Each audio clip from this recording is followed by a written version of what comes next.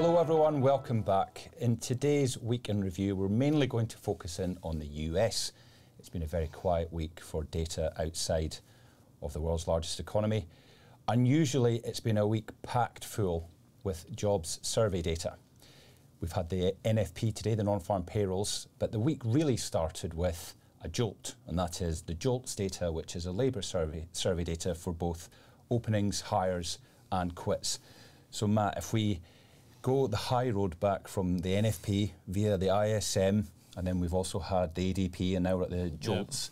What do you think the JOLTS data told us at the start of the week? Yeah, so I think, Kevin, what's probably important to think about the US is just some context as to where we've come from and where we've arrived. So, um, unemployment in this current cycle bottomed on um, in March of 23 at 3.5% slightly higher than that now at 4.2. So although that seems like a fairly significant rise, if we think about that in a historical context, the average employment rate from 2000 to 2019 was 5.9%. So although we have seen that rate tick a little bit higher, we're still have materially below. Yeah, yeah, we still got tight labour markets in the US. So just coming back to the point you were making before about the jolts, what we've seen, well, we've actually seen the number of job openings within the US start to cool that's from a pretty elevated level following COVID. So obviously, the economy reopens, firms and corporations are looking to hire people to start activity again. So we've seen quite a high rate. Really, what we're seeing is that rate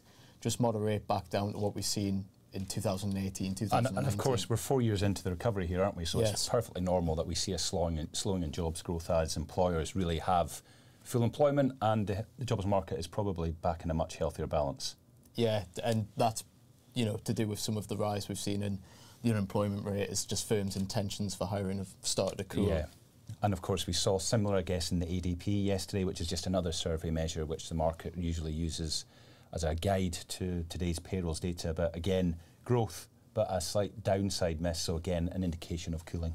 Yeah, and I think what we also saw within that data is some of the um, wage inflation numbers what, from what the ADP had gathered had started to cool, just given, once we've said the normalisation, people aren't looking to quit jobs as frequently and therefore companies are less willing to pay so pay for that. Uh, let's let's update now a bit on the market reaction. So I was slightly surprised by the way the equity market reacted to the JOLTS data at the start of the week. It seemed to take that quite negatively.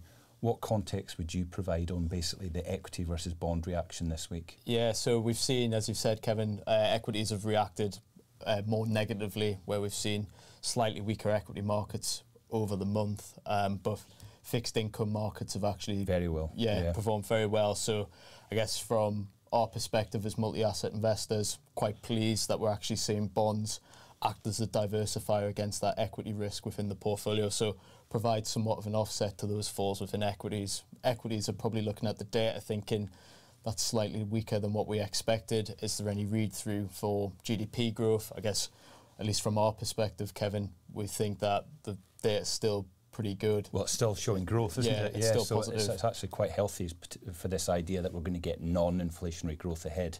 Something um, I've been thinking about, and we've discussed this with colleagues earlier today, is we're going to get that first rate cut in the US in the next couple of weeks. Yeah. But in terms of the market expectations for the next year, it looks like the markets are pricing a lot. What context would we give to the pricing today versus history? Yeah, so it's you know the amount of cuts that the market's got priced is at a 25 year high relative to previous cycles and previous uh, interest rate cutting cycles from the Fed. So fixed income markets have actually priced a lot, and it's a yeah. combination of what we've just talked about with the employment, but also where we've seen inflation get to, where we seem closer to the central bank's target, not just only in the US, but more globally. So central banks more comfortable with where the inflation dynamics got to. And I think that's the key. It's we possibly look at fixed income markets, bond yields, and think it's telling us something about growth, but it might actually be telling us something constructive about inflation. That is, with inflation somewhere between 2 to 3%, having interest rates close to 5.5% in the US is just not appropriate, and that we should actually expect substantial rate cuts in the year ahead, but maybe not at the pace that's currently expected. Yeah, so markets at the minute thinking about four rate cuts come the end of 2024, and given the fact we've only got three more Fed yeah. meetings, that implies that one of those meetings should be a half percent cut rather than the typical format of a 25 basis point. So fixed income markets actually seem quite optimistic about the prospect of interest rate cuts to come. So on that, so I mean, the context from all of these surveys on employment is really that we're still seeing jobs growth. It's just that it's slowed markedly over the course of this cycle, and that this is allowing unemployment to normalise a bit. So unemployment's rising, but just because there's fewer jobs being created. The one thing we're not seeing in any of the Western economies really is any material job losses. So I think context for our viewers here is important. So what we've put together for you here is just a look back since 1974 of annualized US jobs growth. That's the chart you'll see on screen. And there's a couple of other features of the chart. First of all, you'll see in the, the vertical lines are actually, they indicate previous US recessions.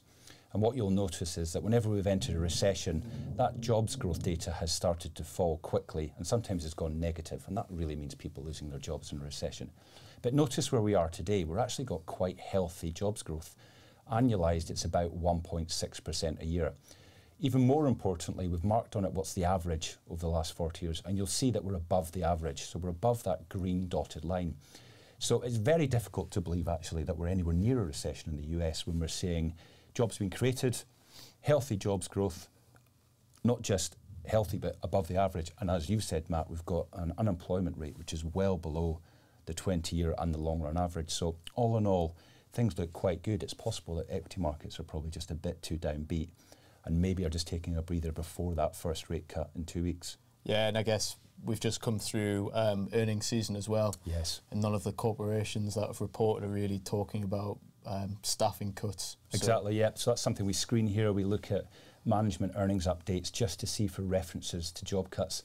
Didn't really appear at all no. in the Q2 earnings call. So altogether, a fairly constructive end to the week for markets with the US jobs data showing strong growth and also that we're still seeing uh, unemployment anchored close to 4% but just above. So it's very much a US focus this week. Please join us for morning markets next week where we'll take more of a UK focus because we're going to look forward to UK jobs data and UK inflation data.